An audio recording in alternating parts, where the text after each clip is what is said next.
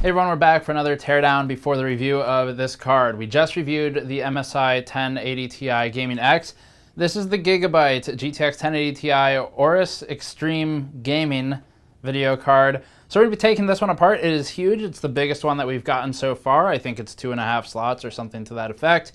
And uh, uses a three-fan cooling design that's somewhat interesting. We'll be taking it apart and then reviewing it shortly thereafter. Before getting to that, this video is brought to you by the current bundle on the GTX 1060 and GTX 1080 video cards where you can get Ghost Recon Wildlands or For Honor at checkout. This comes alongside new MSRPs for the GTX 1080 series cards, now down to $500. You can learn more at the link in the description below. So going over the basics, the three-fan design here, I'm sure they have a name for it of some, some kind of marketing name, but it is a WindForce cooler the interesting thing with the fans, you look at the side two, they're normal axial fans. The middle one's an axial fan as well, except this blade is actually cut kind of in half.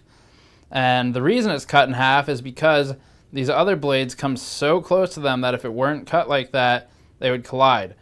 So theoretically, this allows Gigabyte to get an extra fan on there without taking up more width of the, the card, without making it wider, taking up more space. Now, how effective is that? We'll see. Not really 100% sure it's worth it, but we'll find out in testing. So other features of note, there's a, a copper piece here as part of the back plate. This is isolated from the rest of the back plate and connects to the rear side of the GPU down there via thermal pad. So theoretically that helps transfer some of the heat off of there. The hottest area tends to be around this spot where the VRM, uh, the MOSFETs and the inductors are. But we'll go ahead and give the backplate a test just like we did with the MSI Gaming X, although that was published only in the article if you're curious to see how much or if the Gaming X backplate affects that card. We'll do the same for this one, see if this affects this card. Now, normally, backplates are primarily for structural support. For something this large, it makes a lot of sense. You've got a massive cooler with a huge dual set of aluminum heat sinks, and then the base plate and the cold plate. So you want some kind of support here to keep it straight and prevent sagging.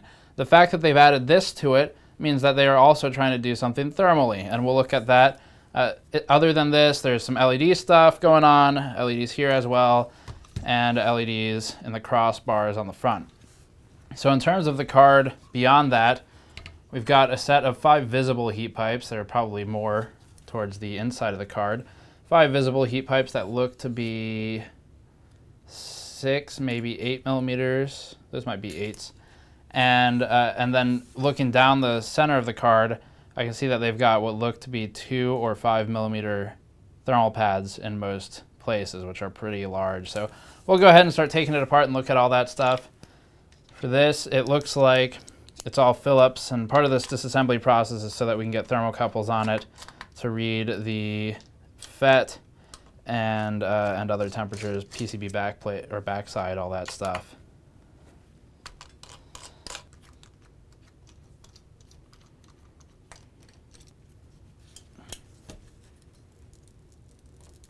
Had to peel all the pads off. That is a ton of cables. Okay, so this one goes here. This is more for my information than anyone else's. That one goes there. This one goes there. This one goes there. And we've got one unused connection here, and they are using the lower down one. That's more for my info for later. All right. So the back plate has these things. Uh, these are where the actual Phillips head screws were. And then the other ones um, just you don't do anything with them. You, as soon as these are out, you can just pry the card off the plate, off the base plate, which is pretty nice. That's not normally how easy it is. Then once we get under there, you can see that these screws are where the uh, rest of the back plate is being held on. So we're to have to remember to put these back in during the reassembly process. They're on the sides horizontally of the GPU, one bottom center, or bottom uh, center between these two uh, one near the power, and then those not spring retained. And the screw size is the same. The screw actually is, I think, exactly the same, yeah, as the rest of what was used in the back plate, so that makes organization easier. that should be it for the back plate. Uh, we might not have to remove the cover, the expansion cover over there. Okay, all right. Power cable for LEDs. Lots of cables on this card. I think this is a $750 card. Oh, okay, just taped in there. I mean, why not, if it, if it works. So there's your uh, LED pad, I suppose. And we've, got, or diffuser anyway, with LEDs in it. That's your power. Now for the thermal solution, this you can just pull off as well. Back center where the capacitors are, there's no pad. Around the sides, there's a thermal pad. That will conduct heat away uh, and then theoretically expose it to the outside. Now you would need a fan directed at this, or at least case fan, to actually get the thing to, to do anything. Otherwise, it's just going to saturate and there's no dissipation. You need dissipation as part of the equation to cool something uh, when you're conducting. So um, these thermal pads are contacting with the VRAM backside right here. There's no VRAM backside coverage anywhere else, so it's just here. And then this line is making contact for uh, this capacitor bank that's on the back of the card actually. And this fatter pad is making contact, it looks like, yeah, where the MOSFETs are attached on the other side right here. So let's flip this over. Oh, and then we've got a hole in the middle uh, for their LEDs, so that would probably be the hottest spot. Now, will it matter? Probably not. MOSFETs can get very high in temperature and they don't really care. Oh, uh, also, there's a front HDMI on this board, which is useful if you are trying to do a VR pass-through, I guess. Uh, but that's all that's there for. So pretty, pretty densely packed board. We've got uh, the chokes down the center. Uh, anything of note would, well, first of all, going over the power headers again, some of these are for LEDs, so there's LEDs on the front and the back and the top of the card. So there's three of those, uh, and then the others are for the fan power. And let's, just see if the fans, if it's, uh, is it three cables or is it one? Because if it's, or two rather. Because um, if they've individually separated the cables, we could actually disconnect the middle one and see if it does anything of note in the noise and temperature department. There's the middle one. Okay, so it's pretty hard to see. But down this channel there, uh, the middle fan is connected to a uh, pass-through or extender cable extension, and that's going out to one of these other ones, probably probably this one. But that's going out the side, so we could actually disconnect some of the fans if we wanted to. I'll have to try that and see if it works the way I would like it to work. Now, in terms of the cooling solution beyond the fans, what we've got is a massive copper cold plate for the GPU and for the VRAM. So this quite clearly contacts the GPU, and then these make contact with the VRAM modules. This one is missing the same VRAM module as every other 1080 Ti we've opened so far. Same physical position. Uh, and then on this, so we've got VRAM contact, VRAM contact, VRAM contact, all syncs to the same copper cold plate, and then that's getting cooled by the heat pipes. For the heat pipes, you can see that there are five really small ones in there. Pretty interesting. So we got five there, a bigger one, uh, still not a six mil though, bigger one that's routed into this aluminum block, and that terminates in here. So there's the terminating end is down there, where you can see it's crimped. And then this heat pipe routes around, goes, it looks like it goes under the plate with the VRAM, then potentially back in. Uh, so that's what we've got for the cooling solution. There are four screws here, which I'm not, it looks like those help secure it to the aluminum fin stack. And then we've got these like massive bolts on here too. This thing is really built up in, uh, in a big way in terms of hardware. What Are those even holding on? Yeah, let's, let's mess around with this and see what happens. So four screws here. I'm thinking this might come loose. And this, by the way, this design, we've talked about it a few times now, but it's basically because they are deciding to cool the GPU and the VRAM, this is kind of a new thing the last year or so it's gotten popular. That means your GPU core temperature will be higher than if they only cooled the GPU core. If you're cooling multiple things with the same plate, the temperatures get, so like if we took this and we physically cut that off, the GPU core temperature would look lower in software, but you lose the VRAM cooling uh, efficiency in theory. So it's it's a good trade. Normally an extra couple deg degrees doesn't really kill you on the GPU core, but having the extra cooling on the VRAM is nice. So these are eight millimeters.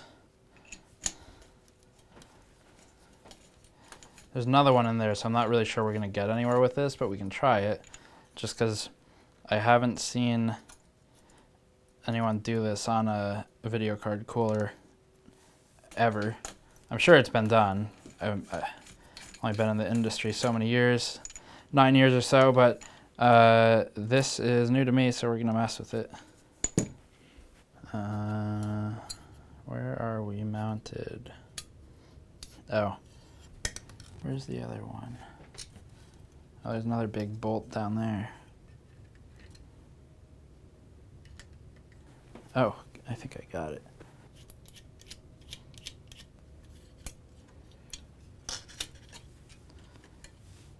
So there's another screw hidden down here.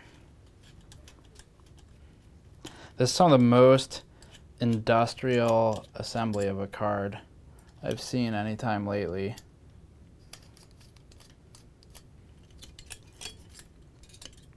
Oh, that's going to be a real pain. That's not going to be fun to reassemble. So, mostly because the cables and the routing of the cables.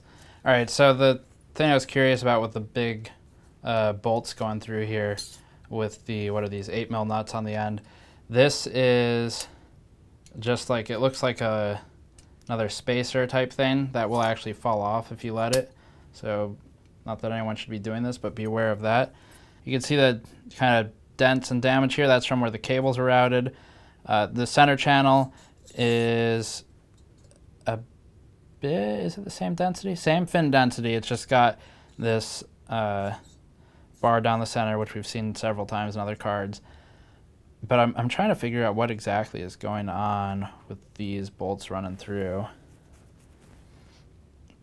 It might just be structural support. Like we could take, we could try and take those out. I would need a, an L-shaped Allen wrench to do it. That's very sharp. Do I have something that can do that in arm's reach?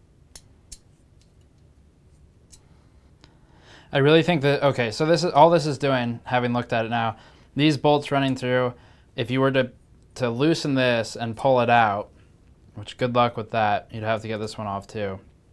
If you loosen them and remove them, I believe this aluminum fin stack would separate from the copper plate, which makes sense because they're not going to manufacture this thing all at once. It's, it's the copper plate will be made separately from the uh, aluminum heatsink. So that's how that's held together, I believe. Tons of just five small heat pipes in here. The other one there, we've got another set of like three or we've got five more total coming out of this side, which this is the VRAM side or VRM side, excuse me. Uh, so your VRM and uh, inductors and all those components are cooled by this directly as indicated by the thermal pads contacting, you can see the indents, contacting the components. Uh, there's a little rubber bumper here, and that more or less sums up the cooling solution. We'll have to see how it works in testing. Okay, so these things right here, the FETs, these are Fairchild 6823Cs, which are uh, part of their, it's a driver IC, and it integrates two FETs, that'd probably be your high side and low side, and then it's also got a diode in there uh, in what's a, ultimately a 6x6 package.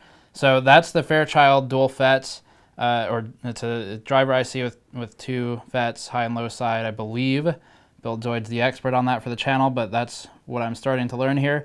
And then other than that, uh, I think we've pretty much gone over the card. So Full review is forthcoming. We'll have the usual overclocking testing, have a lot of thermal testing to do on this one. I'm not 100% sure how much we'll do in the first run for the review. Might revisit it shortly after for more. Uh, but in the very least, we'll be testing the VRM temperature as we've done in the past. So that will be comparable to some of the other VRM temperature tests we've done, like the 1080 Ti Gaming X from MSI. Do the GPU temperature, frequency, stability, all that stuff. Check back for all of that. As always, you can subscribe for more. Patreon.com slash GamersNexus to help us out directly. The store for shirts, if you are a fan, is store.gamersnexus.net. Thank you for watching. I'll see you all next time.